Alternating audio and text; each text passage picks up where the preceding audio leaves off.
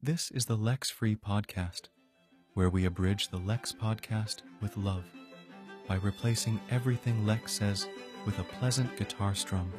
Enjoy.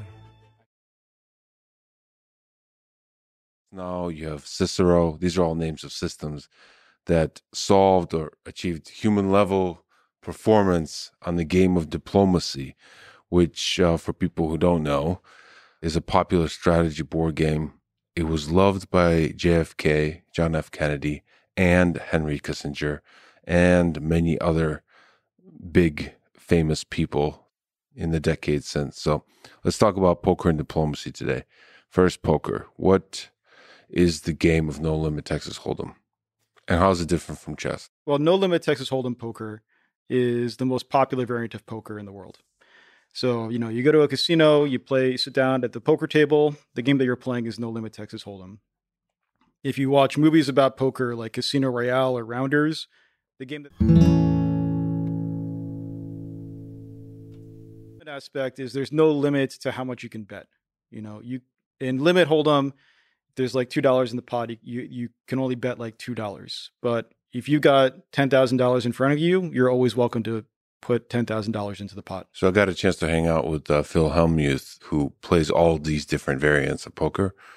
And correct me if I'm wrong, but it seems like No Limit rewards crazy versus the other ones rewards more kind of calculated strategy, or or no, because you're sort of looking from an from an analytic perspective. Is is strategy also rewarded in No Limit Texas Hold'em? I think both variants reward strategy, but I think what's different about No Limit Hold'em is it, it's it's much easier to get jumpy. You know, you go in there thinking you're going to lose. You know, you're going to play for like.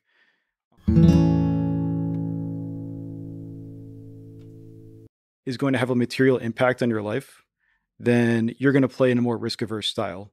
You know, if somebody makes a huge bet, you're going to, if you're playing no limit hold'em and somebody makes a huge bet, there might come a point where you're like, this is too much money for me to handle. Like, I can't risk this amount. Uh, and that's what throws a lot of people off. So that's the big difference, I think, between no limit and limit. What about on the action side when you're actually making that big bet? That's what I mean by crazy. I was, I was. One of the key strategies in poker is to put the other person into an uncomfortable position. And if you're doing that, then you're you're playing poker well. And there's a lot of opportunities to do that in no limit hold'em. You know, you can have like fifty dollars in there. You throw in a thousand dollar bet, and um, you know that's sometimes if you do it right, it puts the other person in a really tough spot.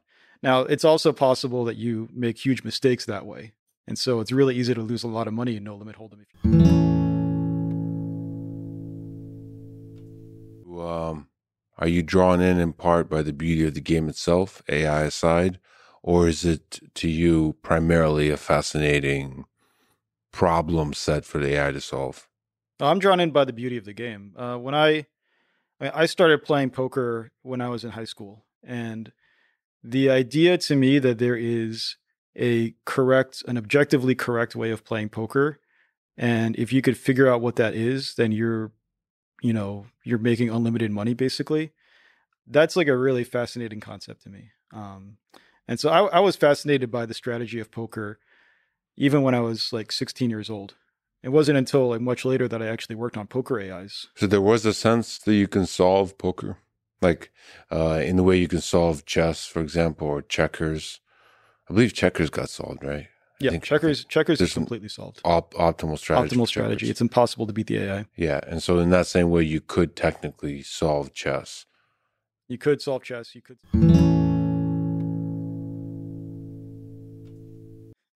In any finite two-player zero-sum game, there is an optimal strategy that if you play it, you are guaranteed to not lose an expectation no matter what your opponent does. And this is kind of a radical concept to a lot of people. Going to lose an expectation in the long run.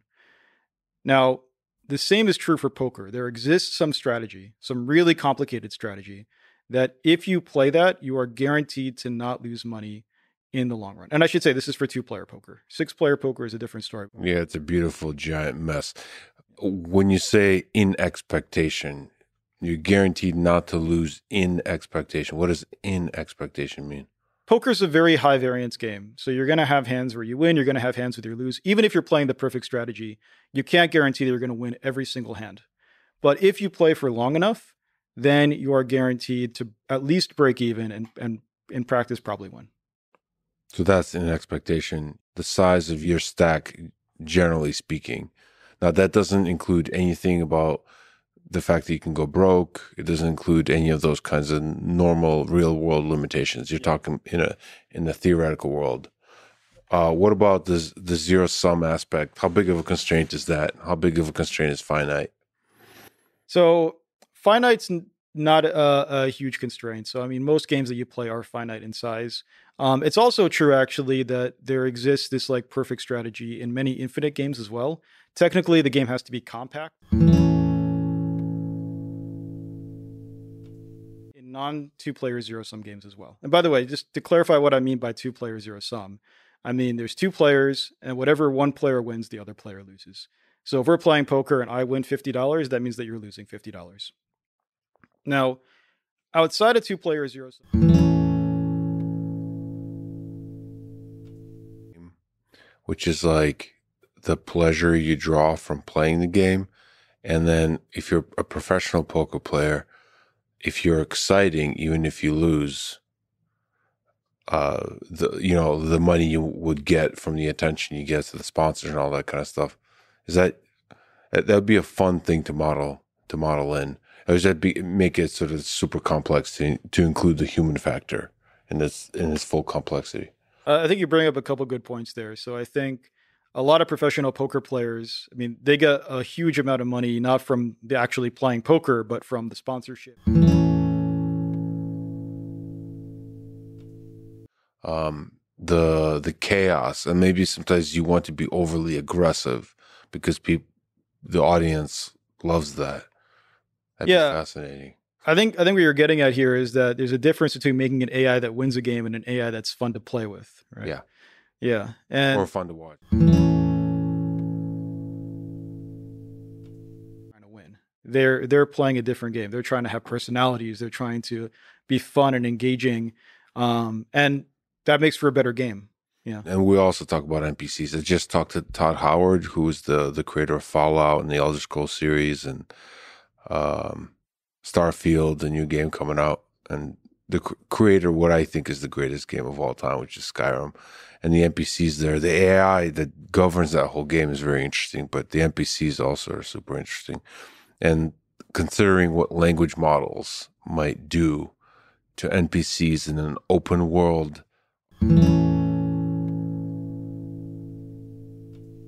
That it's just so much harder to make an AI that can talk with you and cooperate with you than it is to make an AI that can fight you. And I think once this technology develops further and you can have a you can reach a point where like not every single line of dialogue has to be scripted, it unlocks a lot of potential for new kinds of games, like much more like positive interactions that are not so focused on fighting. And I'm really looking forward to that. It might not be positive. It might be just drama. So you you, you'll yeah. be in the, like a Call of Duty game, and instead of doing the shooting, you'll just be hanging out and like arguing with an AI about like um, like passive aggressive, and then you won't be able to sleep that night. You have to return and ar- continue the argument uh-huh. that you were uh, emotionally hurt. Uh, I mean, yeah, I, I, think that's actually an exciting world. Whatever, whatever is the drama, the chaos that we love, the push and pull of human connection, I think it's possible to do that in the video game world. Mm. And it, I think you could be messier and make more mistakes in the video game world, which is why it would be a, a nice place. And and also, it doesn't have a deep of a as deep of a real psychological impact because inside video games, it's kind of understood that you're in a not a real world. So whatever crazy stuff AI does, we have some flexibility to play. Just like with the game of diplomacy, it's a game. This is not real geopolitics. starts by playing totally randomly and it learns how to play the game by playing against itself. So um, it will start playing the game totally randomly, and then it, you know, if it's playing poker, it'll eventually like get to the end of the end of the game and make fifty dollars, and then it will like review all the decisions that it made along the way and say what would have happened if I took this action and the other person takes this action and then I take this action and eventually I make $150 instead of 50. And so it updates the regret value for that action. Regret is basically like how much does it regret having not played that action in the past? And when it encounters that same situation again, it's going to pick actions that have higher regret with higher probability. Now, it'll just keep simulating the games this way. It'll keep, um, you know, accumulating regrets for different situations. Um, and in the long run, if you pick actions that have higher regret with higher probability in the correct way, it's proven to converge to a Nash equilibrium. Even for super complex games, even for imperfect information games.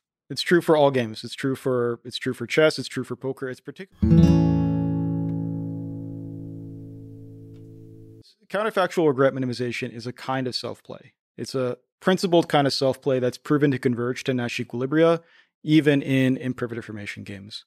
Now, you can have other forms of self play, and people use other forms of self play for perfect information games, um, where you have more flexibility. The algorithm doesn't have to be as theoretically sound um, in order to converge to, to that class of games because there's uh, it's a simpler setting. Sure. So uh, I kind of in in my brain, the word self play has mapped to neural networks, but we're speaking something bigger than just neural networks. It, it could be anything. It, it, the self playing mechanism is just the mechanism of a system playing itself. Exactly. Yeah. Self play is not tied specifically to neural nets. It's it's a kind of reinforcement learning, basically. Okay. And I would also say this process of like trying to reason, oh, what would the value have been if I had taken this other action instead?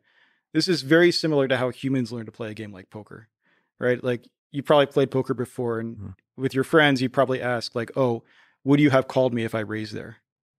you know, right. and that's that's a person trying to do the same kind of like learning from a counterfactual that the AI is doing. Okay, and, if- and again, then it will choose the action that has has high regret.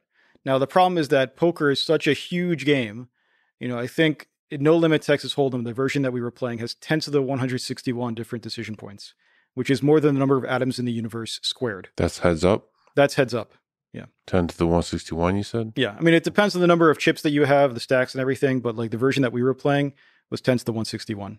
Which I assume would be a somewhat simplified version anyway. Because the I bet there's some like step function you had for like bets. Oh right? no, no, no. That's that's I'm saying like we played the the full game. And you can say like, well, these other situations, I had high regret for this action, and so maybe I should play that action here as well. Which is the more complex game, chess or poker, or Go or poker? Do you that know? Is, that is a controversial question. Okay. Um, I'm gonna. Oh, it's like somebody screaming on Reddit right now. It depends on which subreddit you're on. Is yeah, it chess or is yeah. it poker? I'm sure like David Silver is going to get really angry at me. Yeah. Uh, I'll I'll say I'm going to say poker actually, and I think for a couple reasons. Um, They're not here to defend themselves. so, first of all, you have the imperfect information aspect, and so it's um, it we we can go into that, but like once you introduce imperfect information, uh, things get much more complicated. So we should say, maybe you can describe what is seen to the players, what is not seen uh, in the game of Texas Hold'em. Yeah, so Texas Hold'em, you get two cards face down that only you see. Um, and so that's the hidden information of the game. The other players also all get two cards face down that only they see. Um, and so you have to kind of, as you're playing, reason about like, okay, what do they think I have? What do they have? What do they think I think they have? That kind of stuff. And um, that's that's kind of where bluffing comes into play, right? Because the fact that you can bluff, the fact that you can bet with a bad hand and still win, is because they don't know what your cards are. Right. And that's the that's the key difference between a perfect information game like poker, uh, sorry, like chess and Go, um, and imperfect information games like poker. This is what trash talk looks like. the implied statement is the game I solved is much tougher.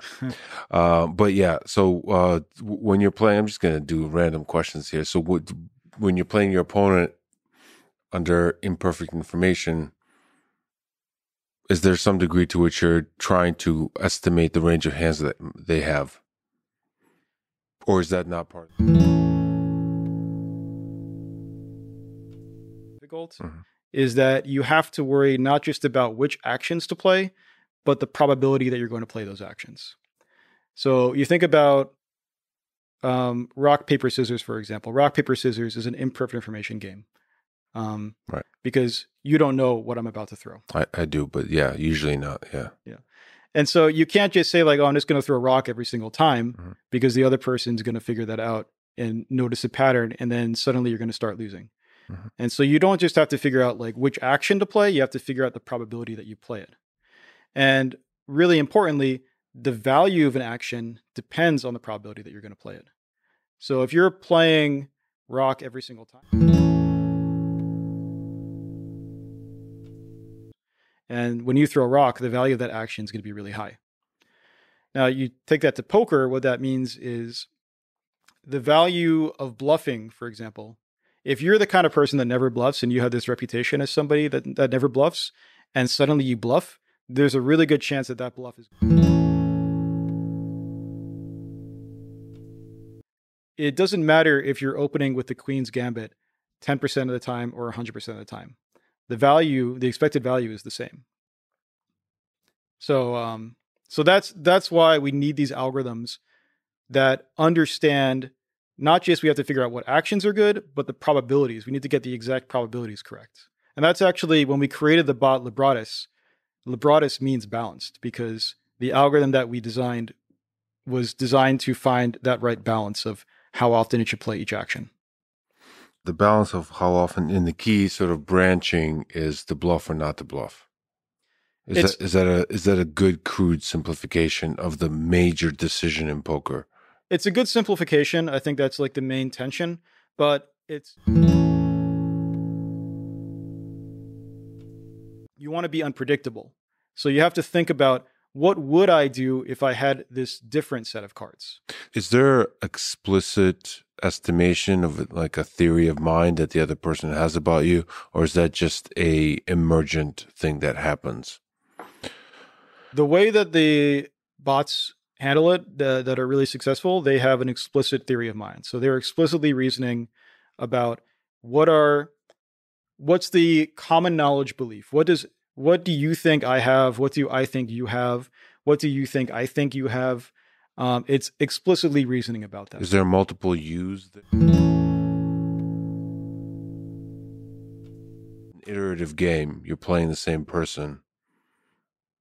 There is a, there's a stickiness to that, right? You're gathering information as you play. It's not every every um, every hand is a new hand. Is there um, a continuation in terms of estimating what kind of player I'm facing here? That's a good question. So you could approach the game that way. The way that the bots do it, they don't, and the way that humans approach it, also expert human players, the way they approach it is to basically assume that you know my strategy. So I'm going to try to pick a strategy where even if I were to play it for 10,000 hands and you could figure out exactly what it was, you still wouldn't be able to beat it. Basically, what that means is I'm trying to approximate the Nash equilibrium. I'm trying to be perfectly balanced because if if I'm playing the Nash equilibrium, even if you know what my strategy is, like I said, I'm still unbeatable in expectation. So so that's what that's what the bot aims for. And that's actually what a lot of expert poker players aim for as well. To start by playing the Nash equilibrium, and then maybe if they spot weaknesses in the way you're playing, then they can deviate a little bit to take advantage of that.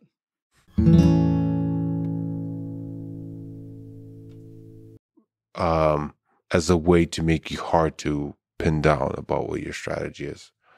So, okay. The thing that I should explain, first of all, with like Nash equilibrium, it doesn't mean that it's predictable. The whole point of it is that you're trying to be unpredictable. Now, I think when somebody like Phil Hellmuth might be really right. successful is not in being unpredictable, but in being able to um, take advantage of the other player and figure out where they're being predictable or guiding the other player into thinking that you have certain weaknesses and then and then understanding how they're going to change their behavior. They're going to deviate from a Nash equilibrium style of play to try to take advantage of those perceived weaknesses and then counter exploit them. So you kind of get into the mind games there. So you think about at least heads up poker as a as a dance between two agents. I guess are you playing the cards or are you playing the the player? So this this gets down to a big argument in the poker community and the academic community. For a long time there was this debate of like what, what's called GTO, game theory optimal right. poker, or exploitative play.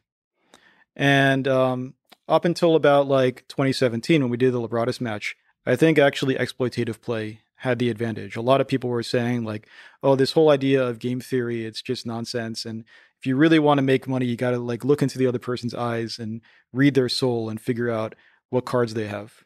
But what happened was people started adopting the game theory optimal strategy, um, and they were making good money.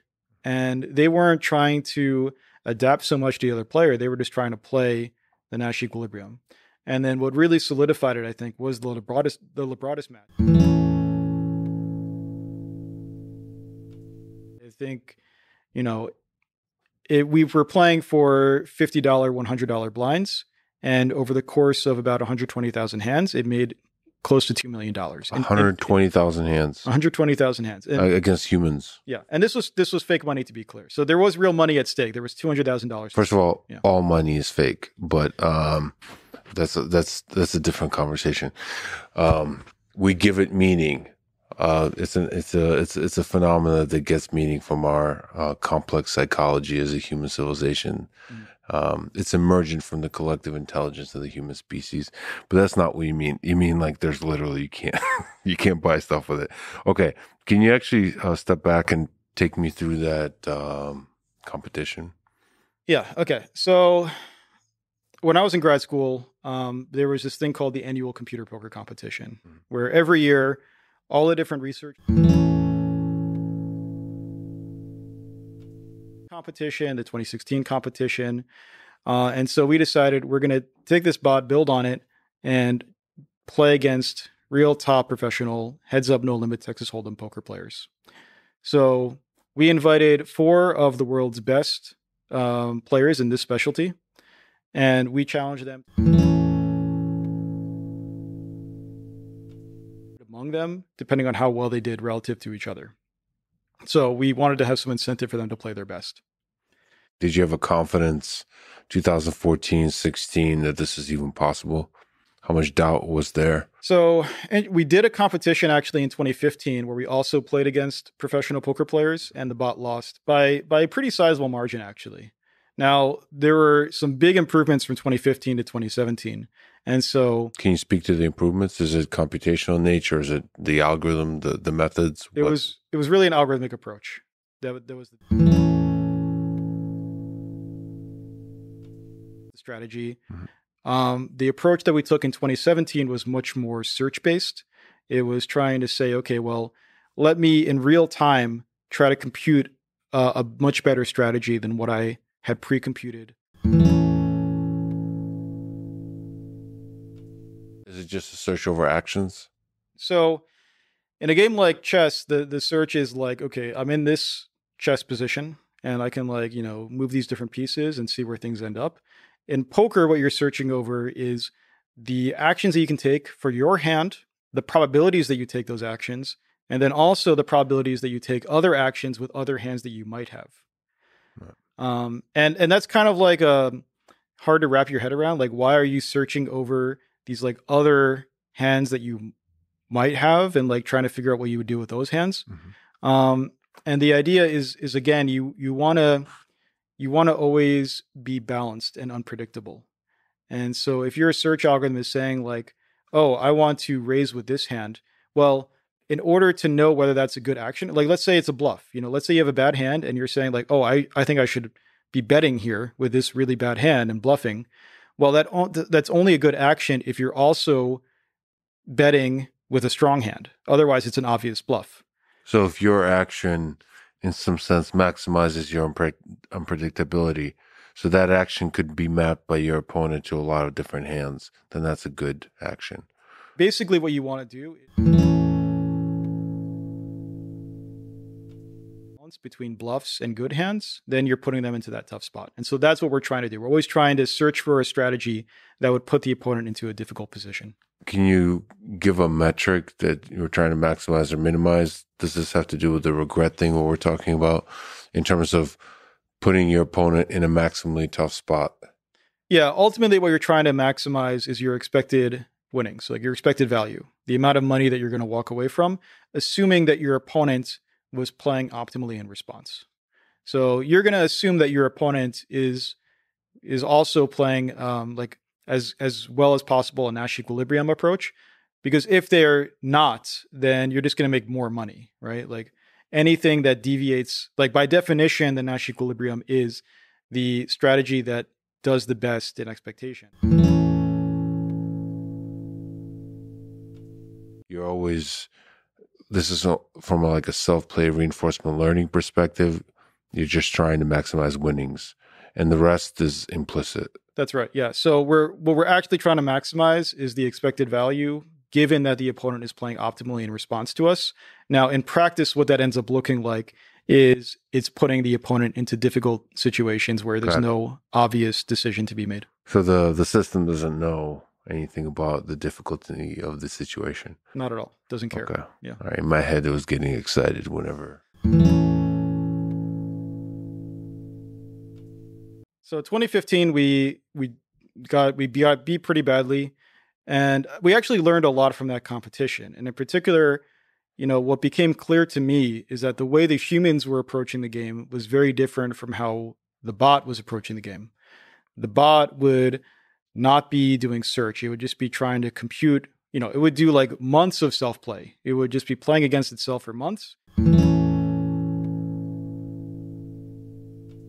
For sometimes even like five minutes about whether they're going to call or fold a hand. Um, and it became clear to me that that's there's there's a good chance that that's what missing that's what's missing from our bot. So I actually did some um, initial experiments to try to figure out how much of a difference does this actually make and the difference was huge. As a signal to the human player, how long you took to think? No, no, no. I'm not saying that there were any timing tells. I was saying when the human, like the bot, would always act instantly. It wouldn't try to come up with a better strategy in real time um, over what it had pre-computed during training. Whereas the Got human, it. like they have all this intuition about how to Got play, it. but they're also in real time leveraging their ability to to think, to, to search, to plan um, and coming up with an even better strategy than what, than what their intuition would say. So you're saying that there's you're doing that's what you mean by you're doing search also. Yeah. You have an you have a intuition gives you a response in like 100 milliseconds or something. It depends on the size of the of the net. But if you can leverage extra computational resources, you can possibly get a much better outcome. And scale up this like pre-computed solution, it was dwarfed by the benefit that we got from search. Can you just linger on what you mean by search here? You're searching over a space of actions for your hand and for other hands. How are you selecting the other hands to search over? Is so yeah, randomly. No, it's all the other hands that you could have. So when you're playing No Limit Texas Hold'em, you've got two face down cards. And so that's 52 choose two, 1,326 different combinations. Now that's actually a little bit lower because there's face up cards in the middle. And so you can eliminate those as well. Okay. But you're looking at like around a thousand different possible hands that you can have. And so when we're doing, when the bot's doing search, it's thinking explicitly there are these thousand different hands that I could have. There are these thousand different hands that you could have. Let me try to figure out what would be a better strategy than what I've pre-computed for these hands and your hands. Okay. So that search, how do you fuse that with what the neural net is telling you or what the the the, the trained system is telling you? Yeah, so you kind of like the, where the trained system comes in is is the value um, at Got the it. end. So there's um, you only look so far ahead you look like maybe you know one round ahead. So if you're on.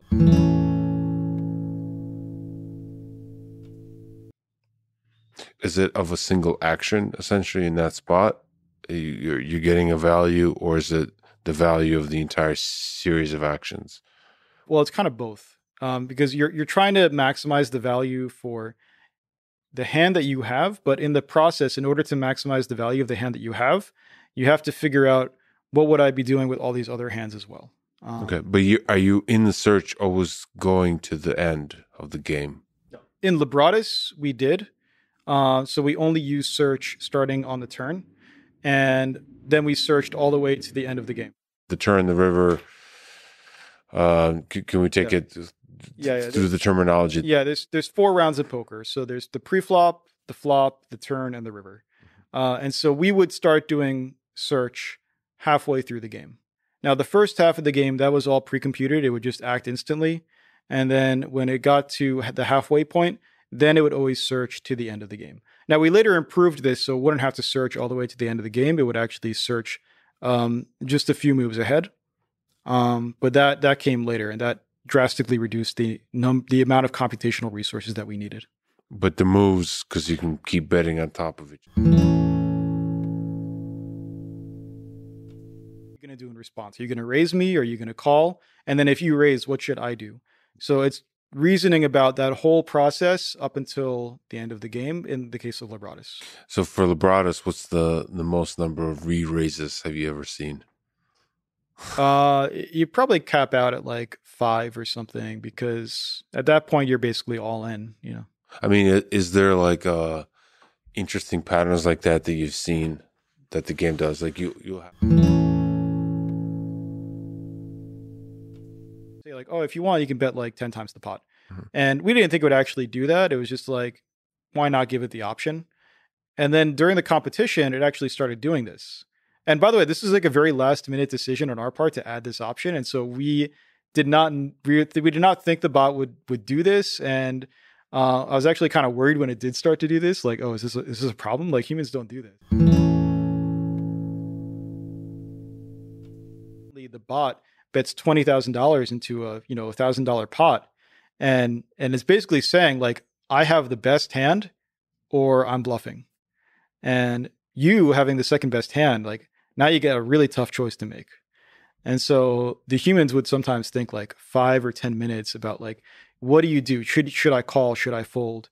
And um, and when I saw the humans like really struggling with that decision, like that's when I realized like oh actually this is maybe a good thing to do after all. And of course, the system doesn't know that it's making, again, like we said, that it's putting them in a tough spot. It's it's it's just that's part of the optimal, the the game theory optimal. Right. From the bot's perspective, it's just it's just doing the thing that's going to make it the most money. Um, and the fact that it's putting the humans in a difficult spot, like that's just um, you know, a side effect of that. And this was, I think, the the one thing. I mean, there were a few things that the humans walked away from, but this was the the number one thing that the humans walked away from the competition, saying like, we need to start doing this. Hmm. Um, and now these overbets, what are called overbets, have become really common in high level poker play. Have you ever talked to like somebody like Daniel Negreanu about this? He seems to be a student of the game. I did actually have a conversation with Daniel Negreanu once. Yeah, I was uh, I was visiting the Isle of Man to talk to PokerStars about AI. Um, and Daniel Negreanu was there when we had dinner together with uh, some other people. And um, yeah, he's, he was really interested in it. He mentioned that he was like, you know, excited about like learning from these AIs. Um, so he wasn't scared. He was excited. He was excited. And, uh, and he, he honestly, he wanted to play against the bot. He thought he, he thought he had a decent chance of, of beating it. Um, I, yeah. I think he, you know, this was like a, a, several years ago when I think it was like not as clear to everybody that you know the AIs were taking over. Yeah. I think now people recognize that like if you're playing again. no limit Texas Hold'em is the bots win. Yeah, that's the case. So I think there's some debate about like is it true for every single variant of poker? I think I think for every single variant of poker, if somebody really put in the effort, they can make an AI that would beat all humans at it. Um, we've focused on the most popular variants, so heads up, no limit, Texas Hold'em, and then we followed it up with um, with uh, six player poker as well, where we managed to uh, make a bot that beat expert human players. And I think even there now, uh, it's pretty clear that humans don't stand a chance. See, I would love to hook up. Common poker wisdom when they're telling, where they're teaching players before there were bots, and they were trying to teach people how to play poker. They would say like the key to the game is to put your opponent into difficult spots. It's a good um, a good estimate for if you're making the right decision. So, what else can you say about the fundamental role of search in poker, and maybe if you can also relate it to chess and Go in these games? Um, what's the role of search to solving these games? Yeah, I think a lot of people under this is true for the general public, and I think it's true for the AI community. A lot of people underestimate the importance of search for these kinds of game AI results.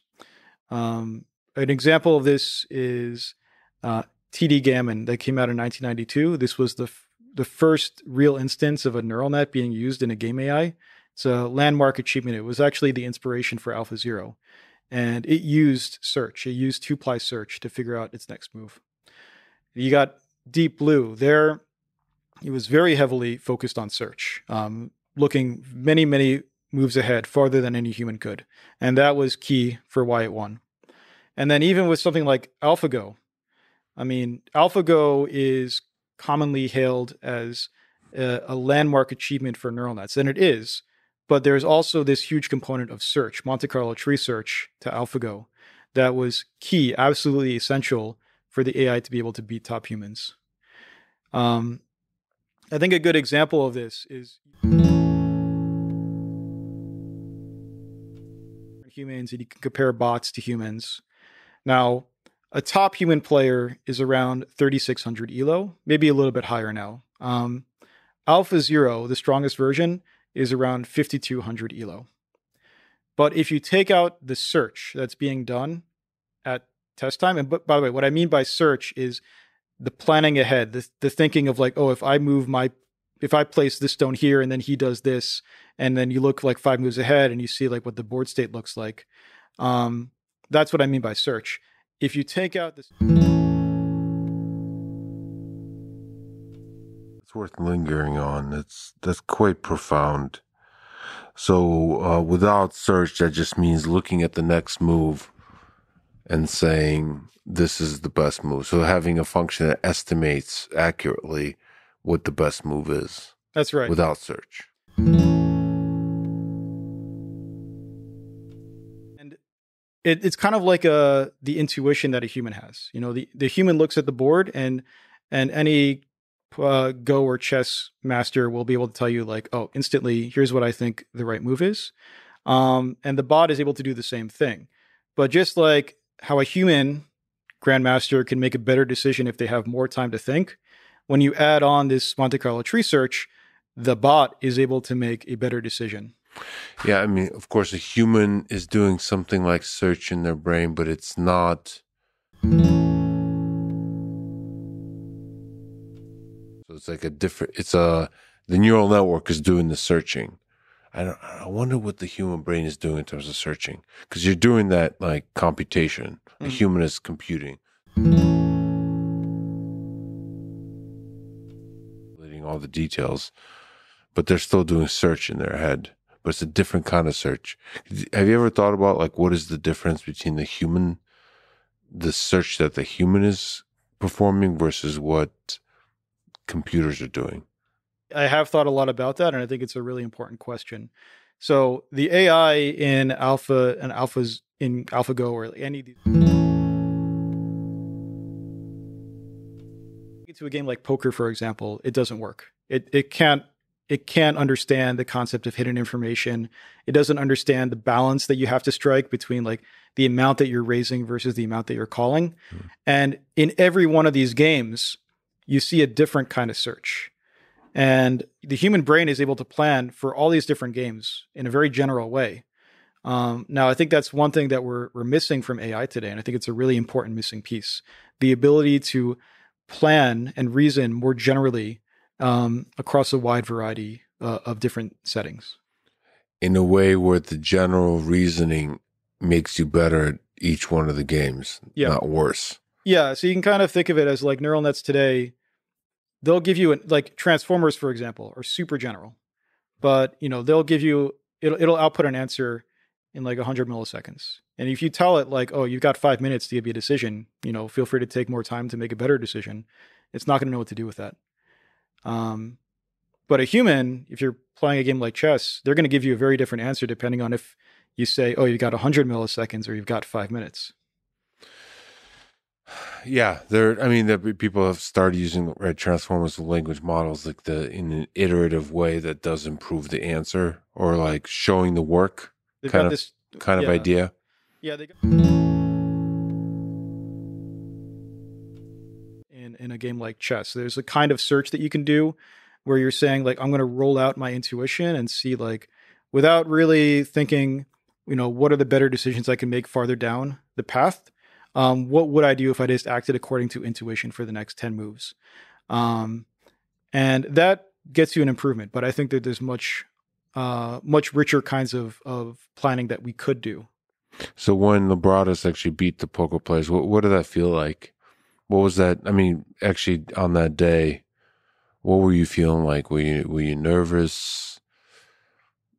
I mean, poker was one of the games that he thought like is not going to be solvable because the human factor. So, uh, at least in the narratives, we tell ourselves the human factor is so fundamental to the game of poker. Yeah, the Libratus competition was super stressful for me. Um, also, I mean, I was working on this like basically continuously for a year leading up to the competition. I mean, for me, it became like very clear like, okay, this is the search technique, this is the approach that we need. And then I spent a year working on this pretty much like nonstop. know. Oh, can we actually get into details? Like, what programming language is, is it written in? What's some interesting uh, implementation details that are like fun slash painful? Yeah, so one of the interesting things about Libratus, uh, but we had no idea like what the bar actually was, and so we threw a huge amount of resources at trying to make the strongest bot possible. So we used C++. It was parallelized. We were using I think like a thousand CPUs, um, maybe maybe more actually, um, and you know, today that sounds like nothing, but for a grad student back in 2016, that was a, a huge amount of resources. Well, it's still a lot for even any grad student today. Yeah. It's still tough to to get, or even to to allow yourself to think in that uh, in terms of scale at CMU at MIT, anything like that. Yeah, and you know, talking about terabytes of memory. Um, so it was a very parallelized, um, and it had to be very fast too, because the more games that you could simulate, uh, the stronger the bot would be. So, is there some like John Carmack style, like efficiencies you have to come up with, like uh, an efficient way to represent a hand, all that kind of stuff? There were all, all sorts of optimizations that I had to make to try to get this thing to run as fast as possible. All, all these kinds of different decisions that that I, you know, had to make. Uh, just a fun question. What what IDE did you use? What uh, for for C plus plus? Uh, The I time. think I think I used uh, Visual Studio actually. Yeah. Okay, Yeah. is that still carried through to? Super stressful. Um, I mean, I thought going into it that we had like a 50-50 chance because basically I thought if if they play in a totally normal style, I think we'll squeak out a win. But there's always a chance that they can find some weakness in the bot.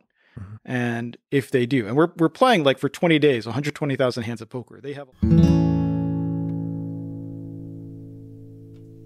And then also um when it the bot got into really difficult all-in situations, it, it wasn't able to because it wasn't doing search. It had to clump different hands together, and it wouldn't. It would treat them identically, Yeah. um, and so it wouldn't be able to distinguish. You know, like having a king high flush versus an ace high flush. And in some situations, that really matters a lot. And so they could put the bot into those situations, and then the bot would would just bleed money. Clever humans. Yeah. Okay, so I didn't realize it was uh, over 20 days. So, um, what were the humans like over those 20 days? And what was the bot like? So we had set up the competition. You know, like I said, there was two hundred thousand dollars in prize money, and they would get paid a fraction of that depending on how well they did relative to each other. Yeah. So I was kind of hoping that they wouldn't work together to try to find weaknesses in the bot, but they enter the competition with their like number one objective being to beat the bot. And they didn't care about like individual glory. They were like, we're all going to work as a team to try to take down this bot. Yeah. And um, so they immediately started comparing notes. What they would do is they would coordinate looking at different parts of the strategy to try to try to you know find out weaknesses um, and then at the end of the day we actually sent them a log of all the hands that were played and what cards the bot had on each of those hands. Oh wow, yeah. That's that's gutsy. yeah it was honestly and i'm not sure why we did that in retrospect but um, i mean i'm glad we did it because we ended up winning anyway but that if if you've ever played poker before like that is golden information. Then then they would coordinate and study together and try to figure out okay now this person's going to explore this part of the strategy for weaknesses. This person's going to explore this part of the strategy for weaknesses It's a kind of psychological warfare showing them the hands. yeah Um, I mean, I'm sure you didn't think of it that way, but like doing that means you're confident in the, the bot's ability to win. well that's that's one way of putting it i wasn't uh, super confident Yeah. so you know going in like i said i think i had like 50-50 odds on us winning the when we actually when we announced the competition the poker community decided to gamble on who would win Mhm. and their initial odds against us were like four to one they, they were really convinced that the humans were going to pull out a win Hmm. um, the bot ended up winning for three days straight and even then after three days the betting odds were still just 50-50 um, and i think what happened is like they thought that they spotted some weaknesses that weren't actually there Mhm. and then around day eight it was just very clear that they were getting absolutely crushed um, and and from that point for i mean for for a while there i was super stressed out thinking like oh my god the humans are coming back and we're just they've found weaknesses and now we're just going to lose the whole thing but no it, it ended up going in the other direction and the bot ended up like crushing them in the long run How did it uh, feel at the end? Like as a human being, what did, as a person who loves, appreciates the beauty of the game of poker, and as a person who appreciates the beauty of AI, is there, did you feel a certain kind of way about it? Uh, I felt a lot of a lot of things, man. Um, I mean, at that point in my life, I had spent five years working on this project, and um, it was a huge sense of accomplishment. I mean, to spend five years working on something and finally see it succeed, um, yeah, I wouldn't trade that for anything in the world. Yeah, because it's uh that's a real beat the machine. So this is a real benchmark, unlike anything else. Yeah, and I mean, this is this is what I had been dreaming about since I was like 16 playing poker, you know, with my friends in high school.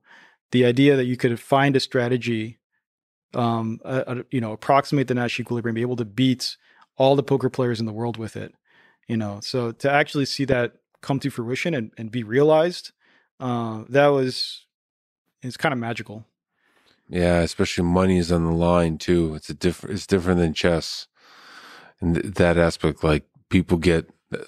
That's why you want to look at betting markets if you want to actually understand what people really think. And in the same sense, poker it's really high stakes because it's money, and to solve that game, that's that's an amazing accomplishment.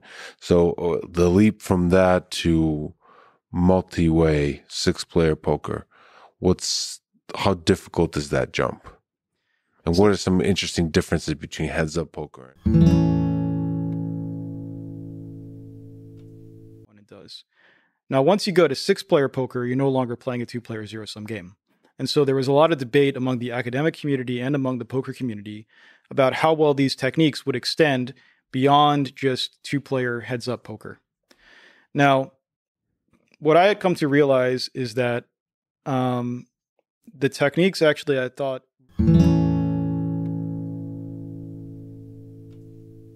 now there were a lot of complications that would come up with six player poker besides like the game theoretic aspect. I mean, for one, the game is just exponentially larger.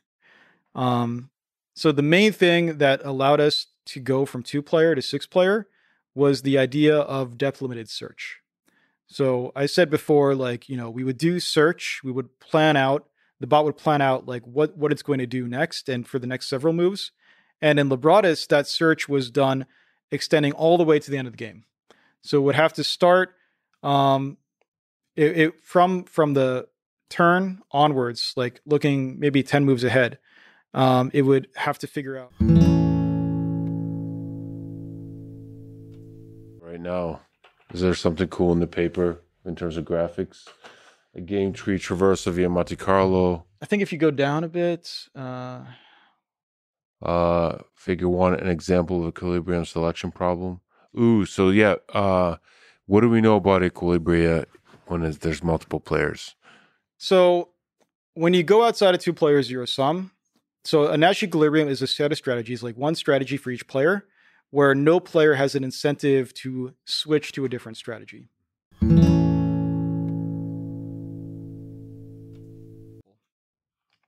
There's an, a Nash equilibrium is for all the players to be spaced equally apart around this ring. But there's infinitely many different Nash equilibria, right? There's infinitely many ways to space four dots along a ring. And if every single player independently computes a Nash equilibrium, then there's no guarantee that the joint strategy that they're all playing um, is going to result is going to be a Nash equilibrium. They're they're just going to be like random dots scattered along this ring rather than four coordinated dots being equally spaced apart. Is it possible to sort of optimally do this kind of selection? To do the, the selection about uh, of the equilibrium you're chasing. So, is there like a meta problem to be solved here? So the meta problem is, in some sense, um, how do you how do you understand the Nash equilibria that the other players are going to play? Um, and and even if you do that, again, there's no guarantee that you're going to win. So. You know, if you're playing, uh, if you're playing Risk, like I said, and and all the other players decide to team up against you, you're going to lose. Nash equilibrium doesn't help you there. And so there was this big debate about whether Nash equilibrium and all these techniques that compute it are even useful once you go outside a two player zero sum game. Issue that the approach of trying to approximate a Nash equilibrium doesn't really work anymore. But it turns out that in six player poker, um, because six player poker is such an adversarial game, um, where none of the players really try to work with each other, the techniques that were used in two player poker to try to approximate an equilibrium, those still end up working in practice in, in six player poker as well. There's some deep way in which six player poker is just a bunch of heads up poker like games in one. It's like uh it's like embedded in it. So the competitiveness um is more fundamental to poker than the cooperation. Right. Yeah. Poker is just such an adversarial game. There's no real cooperation. In fact, you're not even allowed to cooperate in poker. It's considered collusion. It's against the rules. Um, are classes of games where uh, this approach to approximating a Nash equilibrium is proven to work well. Now, six player poker is not known to belong to one of those classes, but it is possible that there is some class of games where it either provably performs well or provably performs not that badly. So, what are some interesting things about uh, Pluribus? That it was so much cheaper than Libratus. I mean, Libratus if you had to put a price tag on on the computational resources that went into it, I would say the final training run took about hundred thousand dollars. You go to Pluribus, the final training run would cost like less than hundred fifty dollars on AWS. Is this normalized to uh, computational inflation? So, meaning, uh, does is this just does this just have to do with the fact that Pluribus was trained like a year later? No, no, no. It's not. It's. I mean, first of all, like yeah, computing resources are are getting cheaper every day, and like, but you're not going to see a, a thousandfold decrease in the computational resources over two years, um, or even anywhere close to that. the The real improvement was algorithmic improvements, and in particular, the ability to do depth limited search. So, it does depth limited search also work for Libratus? Yeah. Yes. So, where this depth limited search came from is, you know, I I developed this technique and um, ran it on two player poker first. And that reduced the computational resources needed to make an AI that was superhuman from, you know, $100,000 for Libratus to something you could train on your laptop. What do you learn from that? Um, from that discovery? What I would take away from that is that algorithmic improvements really do matter. How would you describe the more general case of limited depth search? So it's basically constraining the scale, temporal, or in some other way of the computation you're doing, in some clever way. So, like with, in, in, like, how else can you significantly constrain computation, right? Well, I think the idea is that we want to be able to leverage search as much as possible. And the way that we were doing it in Libratus required us to search all the way to the end of the game. Now, if you're playing a game like chess, the idea that you're going to search always to the end of the game is, kind of unimaginable, right? Like there's just so many situations where you just won't be. Did you use neural nets for uh, Libratus and Pluribus? And more generally, what role do neural nets have to play in um, in superhuman level performance in poker? So we actually did not use neural nets at all for Libratus or Pluribus. And a lot of people found this surprising back in 2017. I think they find it surprising today um, that we were able to do this without using any neural nets. Um, and I think the reason for that, I mean, I think neural nets are um, incredibly powerful, and the techniques that are used today, even for poker AIs, do rely uh, quite heavily on neural nets. Um, but it wasn't the main challenge for poker. Like, I think what neural nets are really good for, if you're in a situation where finding features for a value function is really difficult, then neural nets are really powerful. And this was the problem in Go, right? Like the problem in Go was that, or the final problem in Go at least, was that nobody had a good way of looking at a board and figuring out who was winning or losing, and, describing um, through a simple algorithm who was winning or losing. And so there, neural nets were super helpful because you could just feed in a ton of different board positions into this neural net and it would be able to predict then who was winning or losing. But in poker, the features weren't the challenge. Um, that would understand that you have to bluff with the right probability. So, can that be somehow incorporated into the, the value function? This, the complexity of poker that you've described. Yeah, so the way the value functions work in poker, like the latest and greatest poker AIs, they do use neural nets for the value function. The way it's done is is very different from how it's done in a game like chess or Go because in poker you have to reason about beliefs. And so the value of a state depends on the beliefs that players have about what the different cards are. Like if you have pocket aces, then whether that's a really, really good hand or just an okay hand depends on whether you know I have pocket aces.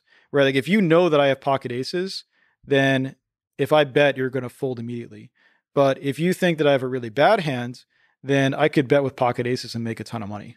So the value function in poker these days takes the beliefs as an input, which is very different from like how how chess and go AIs work.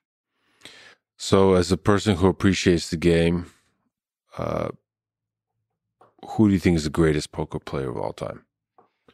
That's a that's a tough question.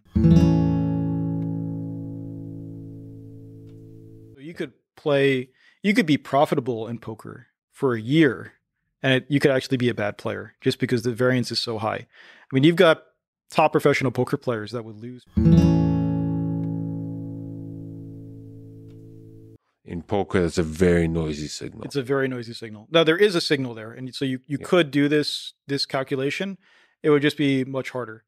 Um, but the same way that ais have now taken over chess and you know all the top professional chess players train with with ais the same is true for poker. Um, the game has become uh, a very computational um, people train with ais to try to find out where they're making mistakes um, try to learn from the AIs to improve their strategy. Uh, so now yeah, so the, the game has been revolutionized in the past five years by by the development of AI in this sport. The skill with which you avoided the question of the greatest of all time was impressive. So my feeling is that it's a difficult it's a difficult question because just like in chess, where you can't really compare Magnus Carlsen today to Gary Kasparov um, because the game has evolved so much. Um, the poker players today are so far beyond the the, the skills of like people that were playing even 10 or 20 years ago. Um, so you look at the the kinds of like all stars that were on ESPN at like the height of the poker boom. Pretty much all those players are actually not that good at the game today. At, at least the, at least the the strategy aspect. I mean, there might be, still be good at like reading the player at the other side of the table and trying to figure out like are they bluffing or not. But in terms of the actual like computational strategy of the game, um, a lot of them have really struggled to keep up with that development. Now, so for that reason, I'll I'll give an answer, and I'm going to say Daniel Negreanu, who you actually had on the podcast recently. I saw it was a great episode. Gonna love this Yeah. so much, And- and Phil's gonna hate this so much. and, and I'm I'm gonna give him I'm gonna give him credit because he, given up on that aspect, and and I got to give Daniel Negreanu credit for for keeping up with all the developments that are happening in the sport. Yeah, it's fascinating to watch. It's fascinating to watch where it's headed. Um, yeah, so there you go. Some love for Daniel. Quick pause. Bathroom break. Yeah, let's do it. Let's go from poker to diplomacy. What is at at a high level the game of diplomacy? Yeah, so I talked a lot about two player zero sum games. And what's interesting about diplomacy is that it's very different from these like adversarial uh, games like chess, Go, poker, even StarCraft and Dota. Diplomacy has a much bigger cooperative element to it. It's a seven player game. It was actually created in the 50s, um, and it takes place uh, before World War One. It's like a map of Europe with seven great powers. Um, and they're all trying to form alliances with each other. There's a lot of negotiation going on. Um, and so the whole focus of the game is on forming alliances, talking to the other players in private, and you make all sorts of deals with them. You say, like, hey, let's work together. Um, you know, let's team up against this other player because the only way that you can make progress is by working with somebody else against the others. Um, and then after that negotiation period is done, all the players simultaneously submit their moves and they're all executed at the same time. And so you can tell people, like, hey, I'm going to support you this turn. Different ways to play the game you know you can play it in person and in that case it's all natural language. Um, free form communication there's no constraints on the kinds of deals that you can make the kinds of things that you can discuss. Um, you can also play it online so you can you know send long emails back and forth. Um, you can play it like live on want um, you can make any sorts of deals that you want and everything is done privately so it's not like you're all around the board together having a conversation. You're grabbing somebody going off into a corner and conspiring behind everybody else's back about what you're planning. And uh, there's no limit in theory to the conversation you can have directly with one person. That's right. You can make all sorts of. Um, you can talk about anything. You could say like, "Hey, let's have a long-term alliance against this guy." You can say like, "Hey, can you support me this turn? And re- in return, I'll do this other thing for you next turn."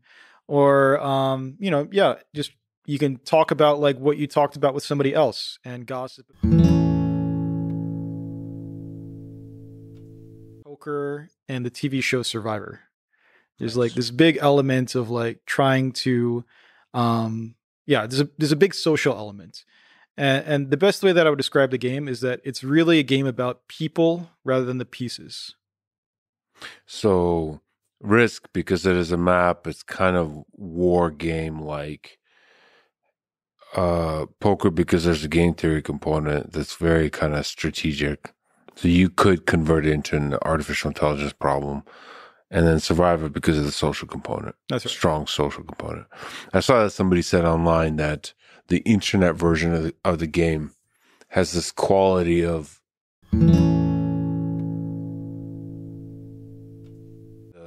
like really imagine yourself as the leader of France or Russia and so on. Like really pretend to be that person. It's actually fun to really lean into being that that leader.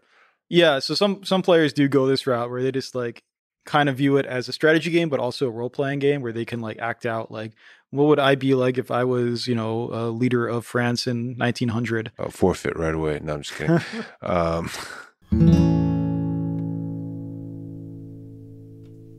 every turn, you got like a bunch of different units that you start out with. So you start out um, controlling like just a few units, and the object of the game is to gain control of a majority of the map. If you able if you're able to do that, then you've won the game. But like I said, the only way that you're able to do that is by working with other players. So on every turn, you can issue a move order. So for each of your units, you can move them to an adjacent territory, or you can keep them where they are, or you can support a move or a hold of a different unit. So what are the territories? how how is the map divided up? It's kind of like Risk, where the the map is divided up into like fifty different territories. Yeah. Um, now you can enter a territory if you're moving into that territory with more supports than the person that's in there or the person that's trying to move in there. So if you're moving in and there's somebody already there, um, then if neither of you have support, it's a one versus one, and you'll bounce back, and neither of you will make progress. If you have a unit that's supporting that move into the territory, then it's a two versus one, and you'll kick them out, and they'll have to retreat somewhere. What does support mean? Support is like it's a it's a. But you can also support other people's units into territories, and so that's what the negotiations really revolve around. But you don't have to do. Is absolutely core to the game. The the fact that you can make all sorts of promises, but you have to reason about the fact that like, hey, they might not trust you if you say you're going to do something, or they might be things that the cool kids say they they do, but they don't actually play. So the game was created in the 50s. Yeah. Um, and from what I understand, it, it was um, JFK's. It was played in like the JFK White House, Henry Kissinger's favorite game. I don't know if. It, um, somebody that had looked at the history of uh, the 20th century and they saw World War One as a failure of diplomacy. So, sure, yeah. you know, they saw the fact that this war broke out uh, as like the the diplomats of all these countries like really failed to prevent a war, and he wanted to create a game that would basically teach people about diplomacy. Um, and it, it's really fascinating that like in his ideal version of the game of diplomacy, nobody actually wins the game. Because the whole point is that if somebody is about to win, then the other players should be able to work together to stop that person from winning. And so the ideal version of the game is just one where where nobody actually wins. And you know, it kind of has a nice like wholesome take home message then that you know war war is ultimately futile and uh, and uh, that optimal that feudal optimal could be achieved through great diplomacy. Yeah. So, uh, is there some asymmetry in in terms of which is more powerful, Russia versus Germany versus uh, France, and so on? So, I think the general consensus is that France is the strongest power in the game, but. Okay. The beautiful thing about diplomacy is that it's it's self-balancing, right? So it's the fact that France has an inherent advantage from the beginning means that the other players are less likely to work with it. I saw that Russia has four units or four of something that the others have three of something. That's true. Yeah. So Russia starts off with four units while all the other players start with three.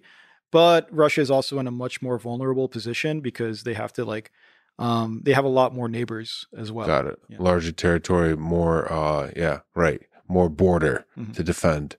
Okay. Uh- 15 or 20 turns. Um, there's in theory no limit. It could last longer. But at some point, I mean, if you're playing a house game with friends, at some point you just get tired and you all agree, like, okay, we're going to end the game here and call it a draw. Um, if you're playing online, there's usually like set limits on when the game will actually end. And what? you know, all the players agree to a draw, and then the the score, the the win is divided among the the remaining players.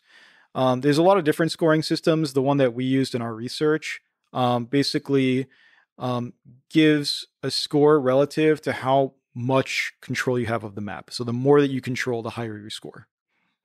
What's the history of using this game as a benchmark for AI research? Do pe- do people use it? Yeah, so people have been working today. I mean, the research in the 80s was a very uh, rule-based approach, kind of eh, kind of a heuristic approach. It was very in line with the kind of research that was being done in the 80s. You know, basically trying to so so much more complicated than the kinds of games that people were working on, like chess and Go uh, and poker. That it, was honestly even hard to like start getting making any progress in, in, in diplomacy. Can you just formulate what is the problem from an AI perspective, and why is it hard? Why is it a challenging game to solve? So there's a lot of aspects in diplomacy that make it a huge challenge. Um, first of all, you have the natural language component. And I think this really is what makes it arguably the most difficult um, uh, game among like the major benchmarks. The fact that you have to, it, it's not about moving pieces on the board. Your action space is basically all the different sentences that you could communicate to somebody else in this game. Yeah. And um, Is there? Can we just like linger on that? So, is part of it like the ambiguity in the language? If if it was like very strict, if you narrowed the set of possible sentences you could do, would that simplify the game significantly? the the real difficulty is the breadth of things that you can talk about. Mhm. Um, you can have natural language in other games, uh, like Settlers of Catan, for example. Like you could have a natural language Settlers of Catan AI, but the things that you're going to talk about are basically like, am I trading you two sheep for a wood or three sheep for a wood? Um, whereas in a game like Diplomacy, the breadth of conversations that you're going to have are like, you know, am I going to support you? Are you going to support me in return? Which units are, are going to do what? Um, what did this other person say, promise you? Uh, they're lying because they told this other person that they're going to do this instead. Um, if you help me out this turn, then in the future, I'll. Thought the most impactful way of doing this research would be to he- uh, address the natural language component head on and, and just try to go for the full game up front. Just looking at sample games and what the conversations look like. Greetings, England. This should prove to be a fun game since all the private press is going to be made public at the end. At the least, it will be interesting to see if the press changes because of that. Anyway, good. Okay, so there, there's like, uh, yeah, that's just kind of like the generic greetings at the beginning of the game. Got I think that the meat comes a little bit later when you're starting to talk about like specific strategy and stuff.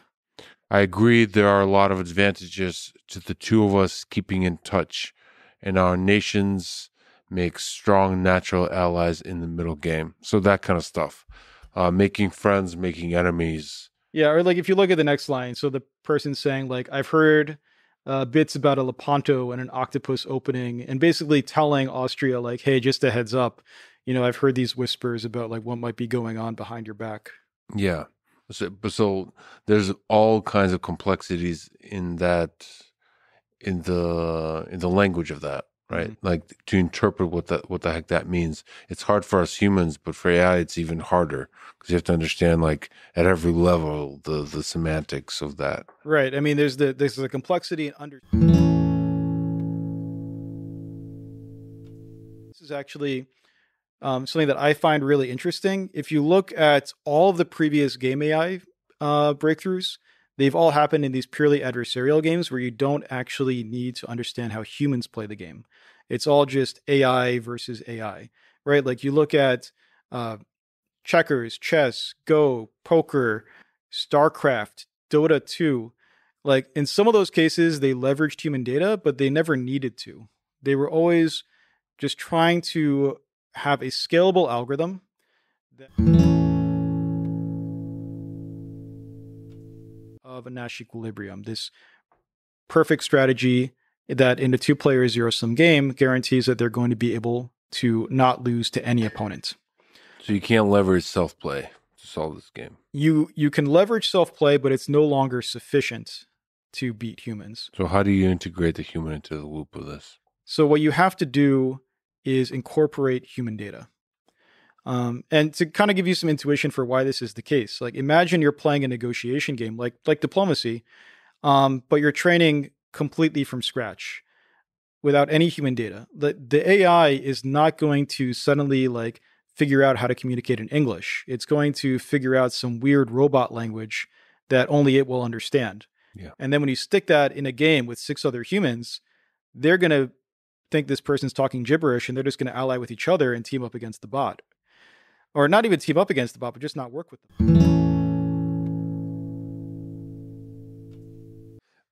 That, that that's a that's a nuanced thing to understand because the a chess playing program doesn't need to play like a human to beat a human. Exactly.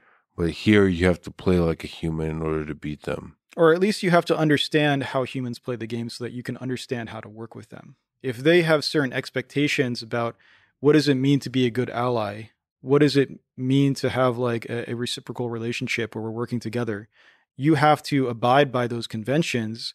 And if you don't, they're just going to work with somebody else instead. Do you think of this as a, a clean in some deep natural language conversation seems like very difficult to evaluate. Like here at a high stakes where humans are trying to win a game, that seems like how you actually perform the Turing test. I think it's different from the Turing test. Like the way that the Turing test is formulated, it's about trying to distinguish a human from a machine and seeing, oh, could the machine uh, successfully pass as a human in this adversarial setting where the where the player is trying to figure out whether it's a machine or a human. Whereas in diplomacy, it's not about trying to figure out whether this player is a human or a machine. It's ultimately requirement for that is for the machine to be human like. I think that's I think that's true that if you're going to play in this human game, you have to somehow adapt to the to the human surroundings and the human play style. And to win, you have to adapt. So you can't if you're the outsider, if you're not human like, I feel like that's a losing strategy. I think that's I think that's correct. Yeah. Yeah. So okay. Um, what what are the complexities here? What was your approach to it? Before I get to that, one thing I should explain, like why we decided to work on diplomacy. Yeah. So basically, what happened is in 2019, um, I was wrapping up the work on six player poker on Pluribus, and was trying to think about what to work on next. And I had been seeing like all these other breakthroughs happening in AI. I mean, like 2019 you have StarCraft, you have AlphaStar beating time. Mm-hmm. And it became clear that AI was progressing really, really rapidly. And people were throwing out these like other games about, you know, what should be the next challenge for for multi-agent AI. And I just felt like we had to aim bigger. Um, if you look at a game like chess or a game like Go, they took decades for researchers to right choice considering just how much progress there there was in AI and that that progress has continued in the years since. So winning in diplomacy what does that really look like? It means talking to six other players, six other entities, agents and convincing and convincing them of stuff that you want them to be convinced of? Like what what exactly I'm trying to get like to deeply understand what the problem is. Ultimately, the problem is is simple to to quantify, right? Like you're going to play this game with humans and you want your score on average to be um, as high as possible. You know, if you can say like I am winning more than any any human alive, um, then you're a champion diplomacy player. Um, Now, ultimately, we haven't we didn't reach that. We got to human level performance. We actually so we played about forty games with with real humans online. Uh, the bot came in second out of all players that played five or more games, and um, so not like number one, but way way higher than. Well, what was the expertise level? Are they beginners? Are they intermediate players? Advanced players? so Do you have a sense? that's a great question, and so I think this kind of goes into how do you measure the performance in diplomacy, and I would argue that when you're measuring performance in a game like this, you don't actually want to measure it in games with all expert players.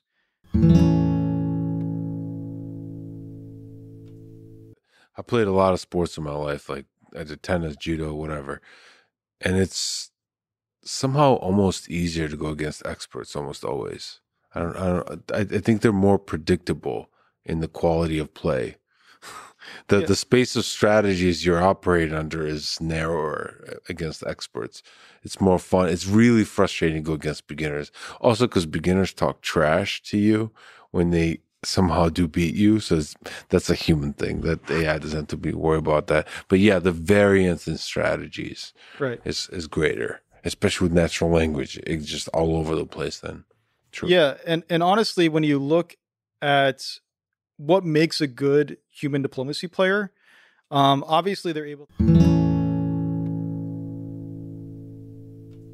They're a weak player that they won't be able to like pull off a stab as well, or that um, they have certain tendencies and they can take them under their wing and persuade them to do things that might not even be in their interest. Um, the really good diplomacy players are are able to to take advantage of the fact that they're in, that they're leverage the benefits of self play that have been so successful in all these other previous games while keeping the strategy as uh, as human compatible as possible. And so what we did is we first trained a, a language model, um, and then we made that language model controllable on a set of in, uh, on a set of intents, uh, what we what we call intents, which are basically like an action that we want to play and an action that we would like. A, an intent, a purpose in its communication. We can talk about a specific move or we can make a specific request. And the determination of what that move is that we're discussing comes from um, strategic re- a strategic reasoning model that uses reinforcement learning and planning. So the computing the intents for all the players, how's that done?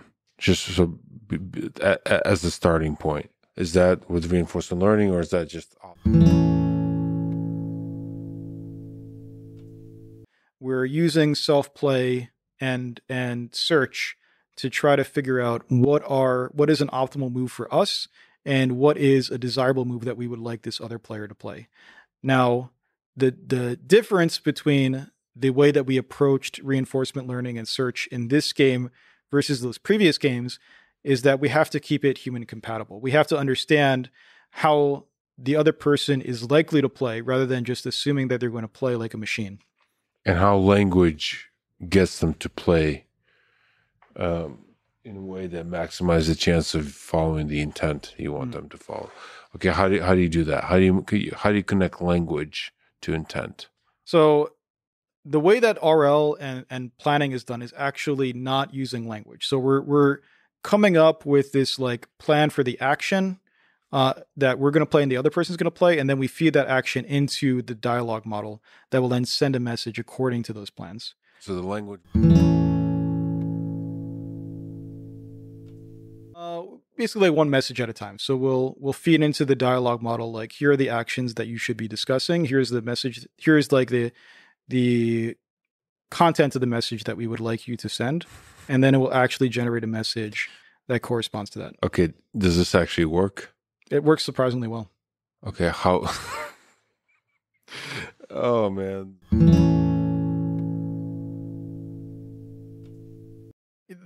We don't tell the the language model like here are the pieces of our action or the other person's action that you should be communicating. Mhm. And so, like, let's say you're about to t- attack somebody, you probably don't want to tell them that you're going to attack them. Mm-hmm. But there's nothing in the language, like the language model is not very smart at the end of the day. So it, it doesn't really have a way of knowing, like, well, what should I be talking about?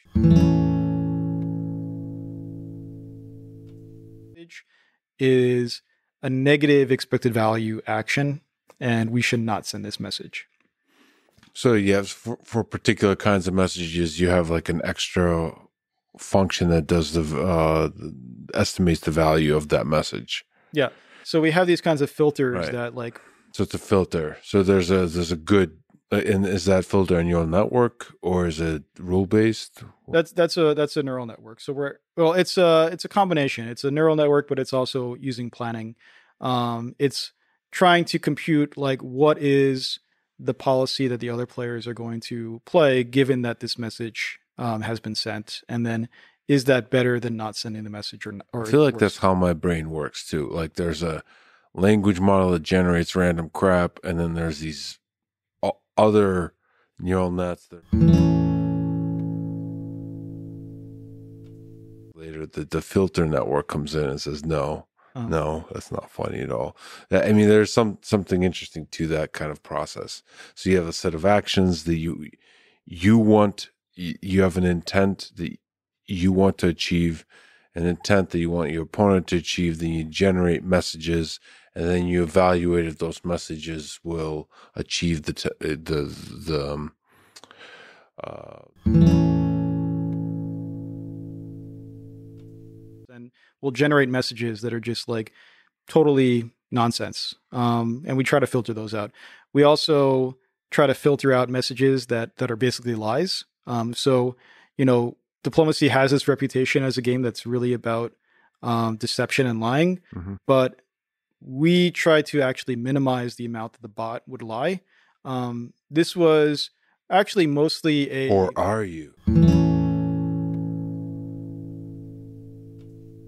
would make the bot perform worse in the long run. It would end up with a lower score because once the bot lies, um,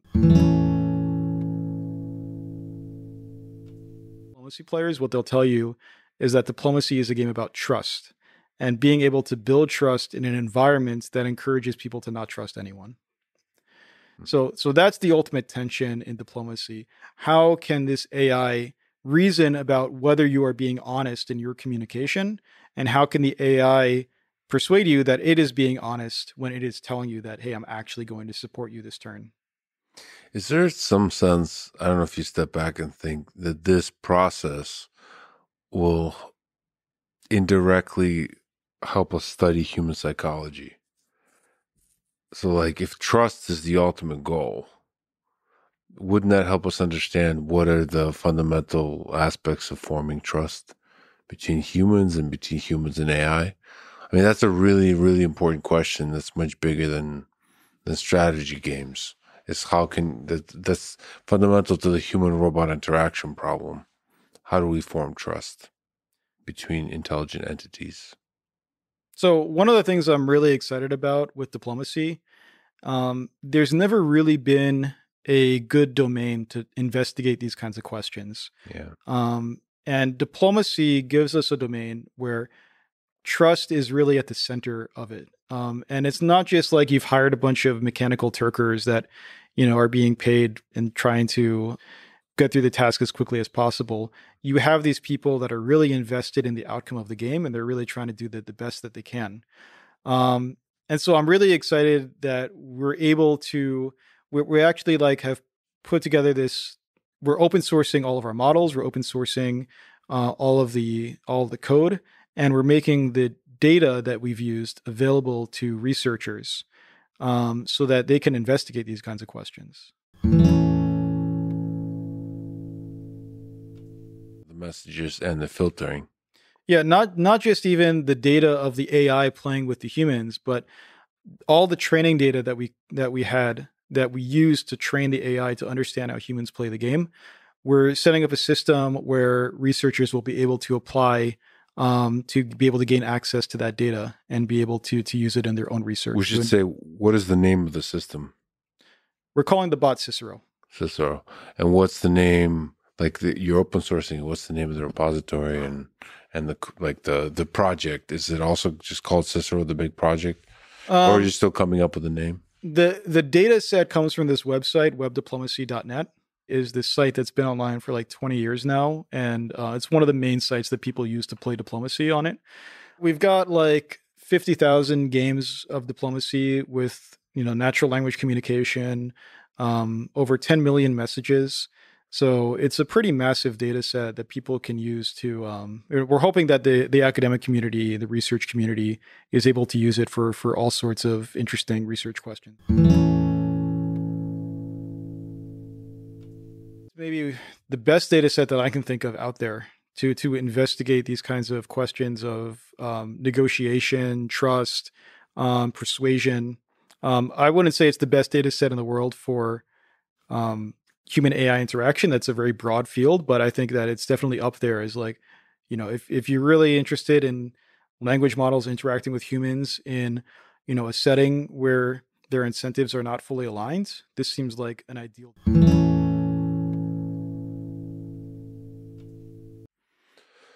Well, I think there's ideas few, or results. Yeah, I think there's a few aspects of the results and um, that that I think are really exciting. So first of all, the fact that we were able to achieve such strong performance, um, I was surprised by and pleasantly surprised by. Um, so we played 40 games of diplomacy with real humans, and the bot placed second out of all players that have played five or more games. So it's about 80 players total, um, 19 of whom played five or more games, and the bot was ranked second out of those players. Um, and the bot was was really good in two dimensions. One, being able to establish strong connections with the other players on the board, being able to like persuade them to work with it, um, being able to coordinate with them about like how it's going to work with them, and then also the raw tactical and strategic aspects of the game. You know, being able to understand what the other players are likely to do, being able to model their behavior and respond appropriately to that the bot also really excelled at. What are some interesting things that the bot said? By the way, are you allowed to swear in the um like are there rules to what you're allowed to say and not in diplomacy? You can say whatever you want. I think the site will get very angry at you if you start like threatening somebody. And we actually, or like if you threaten somebody, you, you're supposed to do it politely. Yeah, politely. You know, like keep it in character. Um, the the bot we actually had a researcher watching the bot 24/7 for well whenever we play a game we had a bot watching it to make sure that it wouldn't go off the rails and start like threatening strategies would emerge. Have you seen anything interesting that you huh that's a weird that's a that's a weird behavior either of the filter or the, or the language model that was weird to you? That was yeah there were definitely like things that the bot would would do that were not in line with like how humans would approach the game and that in, in a good way. The humans actually you know we we've talked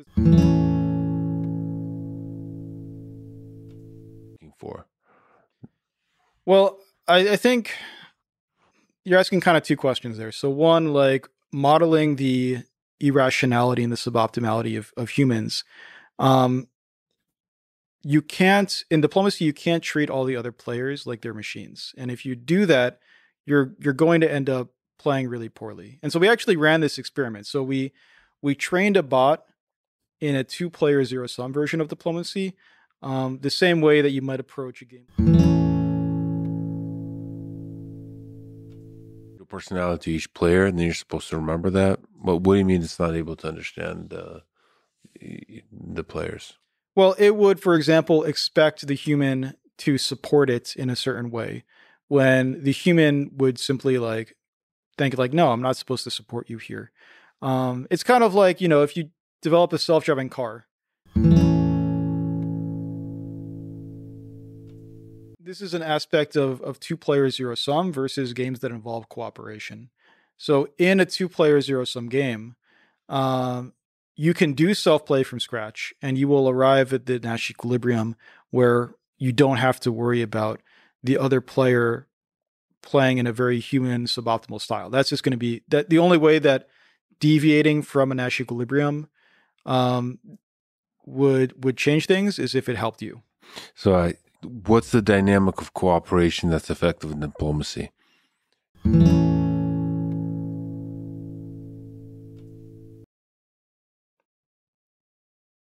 Got it. And boy, and the the lying comes into play there. So the the more friends you have, the better. Yeah, I mean, I guess you have to attack somebody, or else you're not going to make progress. Right. So that's the tension. But man, this is too real. this is too real. To this is too too close to geo, geopolitics of actual military conflict in the world. Okay. Uh, that's fascinating. So that cooperation element is what makes the game really, really hard. Yeah. And to give you an, an like an example of of how this suboptimality and irrationality comes into play, there's a really common situation in a game of diplomacy um, there where one player starts to win and they're like at the point the show where, Yeah. like you know you got the the others coming from the north and like all the people have to start you work out their differences and stop them from from taking over. Um and the bot will do this. The, the bot will work with the other players to stop the superpower from winning. But if it doesn't really if it's trained from scratch or it doesn't really have a good grounding in how humans approach it it will also at the same time attack the other players with its extra units Mhm. so all the units that are not necessary to stop the superpower from winning it will use those to grab as many centers as possible from the other players and in totally rational play the other players should just live with that you know they have to understand like hey a score of one is better than a score of zero so, um, so okay, he's grabbed my centers, but I, I'll just deal with it. But humans don't act that way, right? The human gets really angry at the bot and ends up throwing the game because, you know, I'm going to screw you over because you did something that's not fair to me. Got it. And uh, are you supposed to model that? Is the bot supposed to model that kind of human frustration? Yeah.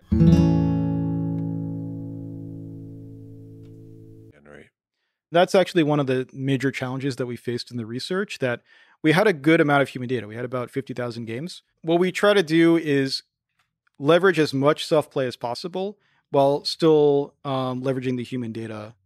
Um, so what we do is we do self-play um, very similar to how it's been done in poker and go but we try to regularize the self-play towards the human data. Basically the the way to think about it is um, we penalize the bot for choose on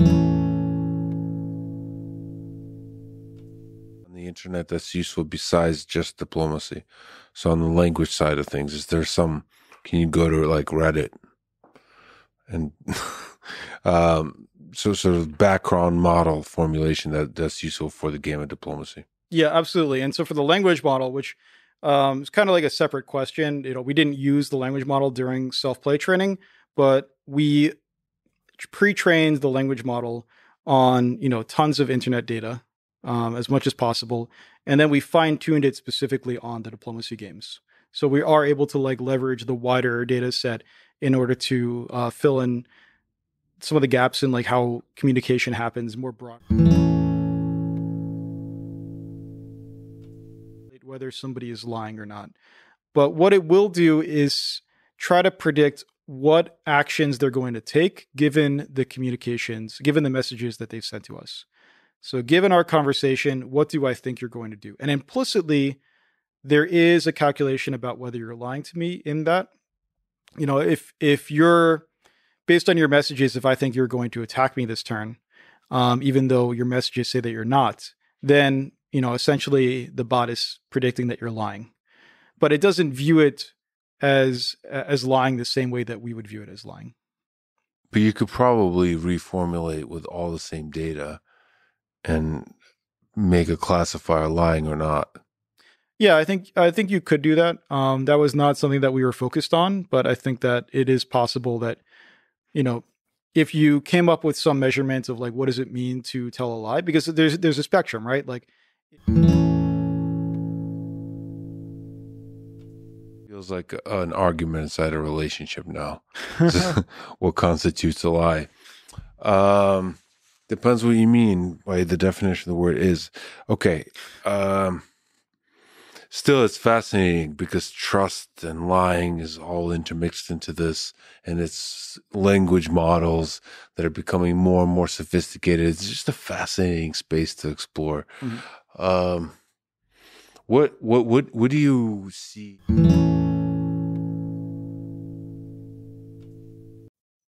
I, I think really what it's showing us is the potential that language models have. I mean, I think a lot of people didn't think that this kind of result was possible even today, despite all the progress that's been made in language models. And, and so it shows us how we can leverage the power of things like self play on top of language models to get um, increasingly better performance. And um, the ceiling is really much higher than what we have right now. Is this transferable somehow to to chatbots for the more general task of dialogue? So because there is a kind of negotiation here, a dance between entities that are trying to cooperate and at the same time a little bit adversarial, which I think maps somewhat to the general, you know, the entire process of Reddit or like internet communication. You're cooperating, you're adversarial, you're having debates, you're having uh, camaraderie, all that kind of stuff. I think one of the things that's really useful about diplomacy is that we have a well defined value function. There is a, a well defined score that the bot is right. trying to optimize. And, and in a in a setting like a general chatbot setting, it needs it would need that kind of um, objective in order to fully leverage the techniques that we've developed. What about like what we talked about earlier with NPCs inside video games? Like, how can it be used to create uh, for Elder Scrolls Six more compelling um, NPCs that you could talk to instead of instead of committing all kinds of violence with a sword and fighting dragons? Just sit in a tavern and drink all day and talk to the chatbot. The way that we've approached AI and diplomacy is you condition the language on an intent. Now, that intent in diplomacy is an is an action, but it doesn't have to be. And you can imagine, you know, you could have NPCs in video games or the metaverse or whatever, where there's some intent or there's some objective that they're trying to maximize, and you can specify what that is. Um, and and then the language can correspond to that intent. Now, I'm not saying that this is, you know, happening imminently, but um, I'm saying that this is like a future application potentially of this direction of research. So, what's the more general formulation of this? Making self play be able to scale the way self play does and still maintain human like behavior. The way that we've approached self play in diplomacy is like we're we're trying to come up with good intents to condition the language model on. And the space of intents is actions that can be played in the game. Now, there is like the potential to have a broader set of intents. Things like, you know, long term cooperation or long term uh, objectives or, you know, gossip. Say, like, oh, you should be talking about this thing right now.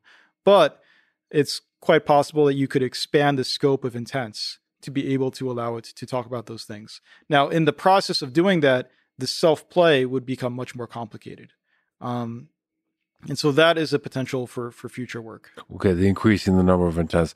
I still am not quite clear how you keep the self play integrated into the human world.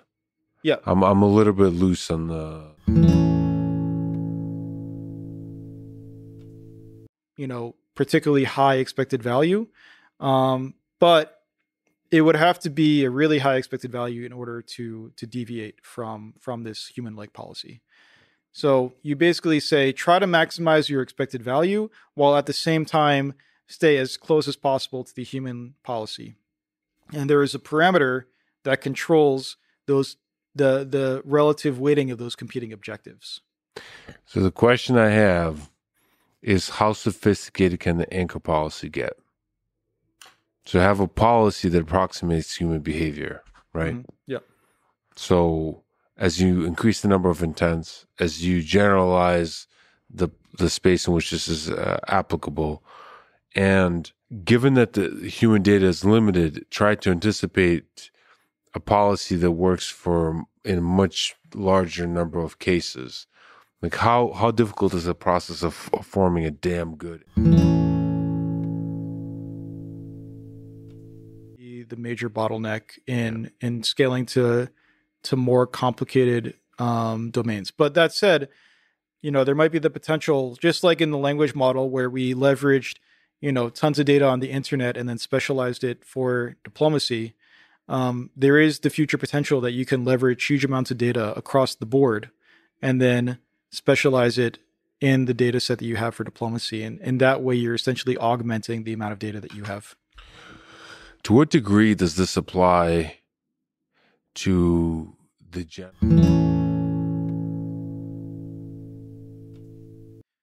Well, like I said, the original motivation for the game of diplomacy was the failures of World War One, the diplomatic failures that led to war. Uh,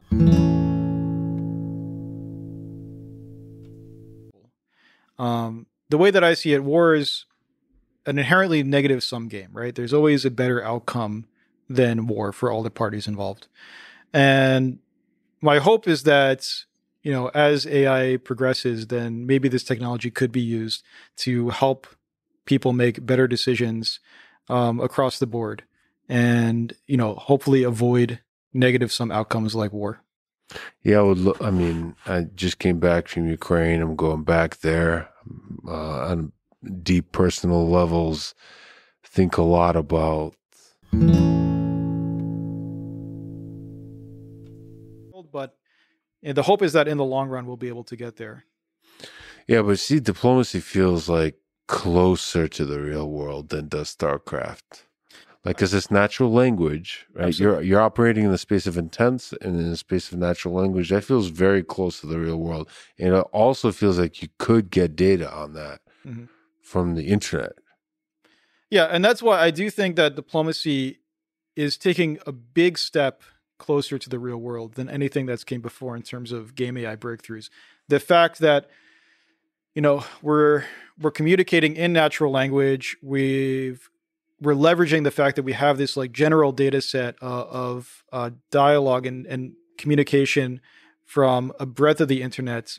Um, that is that is a big step in that direction. We're not 100% there, but um, but we're getting closer at least. So if we actually return back to poker and chess, are some of the ideas that you're learning here with diplomacy? Could you construct AI systems that play like humans? Like um make for a fun opponent in a game of chess? Yeah, absolutely. We've already started looking into this direction a bit. So we tried to use the techniques that we've developed for diplomacy uh, to make chess and Go AIs. And what we found is that it led to much more human like, strong. Supervised learning on those games. Mm-hmm. But the problem is that if you do that, what you end up with is an AI that's substantially weaker than the human grandmasters that you trained on. Because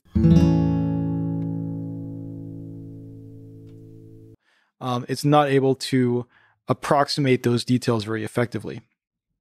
And on the other hand, you can leverage search and planning very heavily, but then what you end up with is an AI that plays in a very different style from how humans play the game. Now, if you strike this intermediate balance by setting the um, the regularization parameters correctly and say you can do planning but try to keep it close to the human policy, then you end up with an AI that plays in both a very human-like style and a very strong uh, style. And the things that I was thinking about is, and this is actually already being done. Think there's a researcher at the University of Toronto that's working on this. Um, is to make an AI that plays in the style of a particular player. Like Magnus Carlsen, for example, you can make an AI that plays like Magnus Carlsen. And then where I think this gets interesting is like, hey, maybe you're up against Magnus Carlsen in the world championship or something. You can play against this Magnus Carlsen bot to prepare against the real Magnus Carlsen. And you can try to explore strategies that he might struggle with um, and try to figure out like, how do you beat this player in particular? Um, on the other hand, you can also have Magnus Carlsen working with this bot to try to figure out where he's weak um, and where he needs to improve his strategy. Um, and so I can envision this future where data on specific chess and Go players becomes extremely valuable because you can use that data. detection much harder. It it does, yeah. The way that cheat detection works in a game like poker and a game like chess and go, from what I understand, is trying to see like is this per- challenges for cheat detection. And it makes you now ask yourself a hard question about what is the role of AI systems as they become more and more integrated in our society. And this kind of human AI um, integration has has some deep ethical issues that we should be aware of. And also it's a kind of cybersecurity challenge, right? For to make, you know, w- one of the assumptions we have when we play games is that there's a trust that it's only humans. Exciting, but then we have to have the defenses better and better and better if we're to trust that we uh, can enjoy. Know, for example, right now it's really hard to learn how to get better in games like chess and poker and Go because the way that the AI plays is so foreign and incomprehensible. Yeah. But if you have these AIs that are playing, you know, you can say like, "Oh, I'm a 2000 elo human. How do I get to 2200?" Now you can have an AI that plays in the style of a 2200 elo human, and that will help you get better.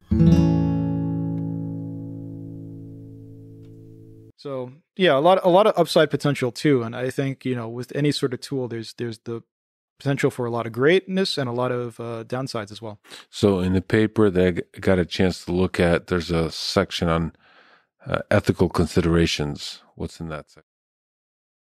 This is the Lex Free Podcast.